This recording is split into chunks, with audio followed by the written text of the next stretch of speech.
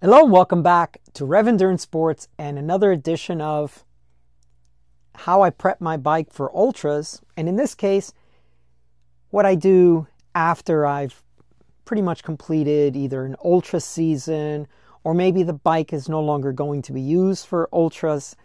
Um, I showed a little hack earlier in an earlier video on how I put reflective tape on a bike and now I will show you why I do it the way that I do because it, uh, it makes removing it so much easier. So let me show you what I'm talking about. In a previous video, I mentioned that I put black electrical tape down as a base and then I put the reflective tape on top of that. So here's another example and here's another example. So what I do, or how the reason I do that is because this particular tape is a DOT uh, spec, and it's it's a very good tape. It's very reflective. You see it on the back of trucks, semi trucks, uh, semi truck trailers, and but eventually, either the sun or something deteriorates it, and it's very like a fish scale. It's very difficult to remove when it starts to break apart. So, um, another little hack that I do is, for example, here this this particular seat stay on this Bianchi XR4, you know, is not round and its profile is quite thin. So when I put the reflective tape on here on top of the black electrical tape, it wants to peel off. So I I then just put a strip of packing tape over the top of it. So I have black electrical tape, reflective tape, and then a clear packing tape on top. And it also makes it super easy to clean.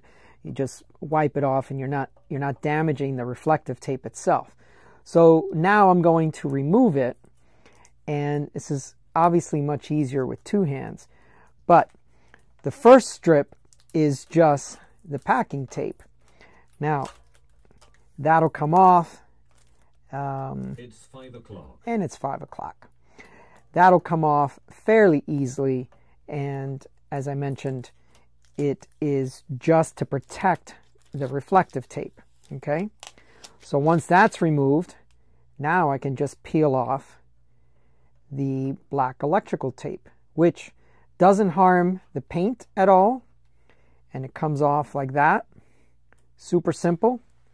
Now, one thing that I tend to do is if I know I'm going to, I mean, if they're in good condition or I, am going to reuse them, I just put them on something like this.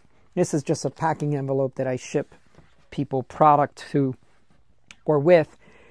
And the and it's not because I'm cheap and frugal. Um, it's really because of time because now I already have the strips cut out and this will re-stick again no problem because it's black electrical tape. So you know after let's just say you know I, I want to reuse this bike for ultras again then I just pull that out and I can put it back on. Now the reason I'm peeling these off now is because I am uh, using my Ritchey for the Ultra, uh, for PBP, for that matter. And I'm sorry, I'm I'm talking and I can't really see because I'm using the uh, the camera uh, to see what I'm doing. So it's not very very good vision, but um, I'm using my Ritchey, so I don't really need the black electrical. I'm sorry, the reflective tape on this bike anymore. This is now um, going to just be a daytime riding bike. And so I wish to just remove these. And you can see just how simple it is to take these off. It just makes your job so much easier. This is all happening in real time. I'm talking to you and you know we're we're under 5 minutes to include the introduction and boom, the tape just comes right off.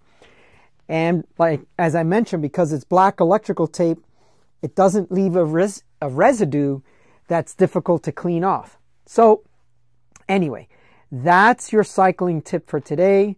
That's how I prep a bike for ultras and how I then make it a daytime bike again. Super simple.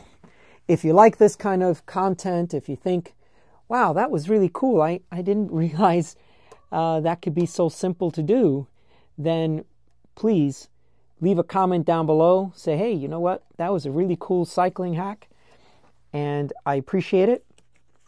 And uh, look forward to hearing more from you, George. And please like and subscribe, and we will see you up the road. Oh, one more here.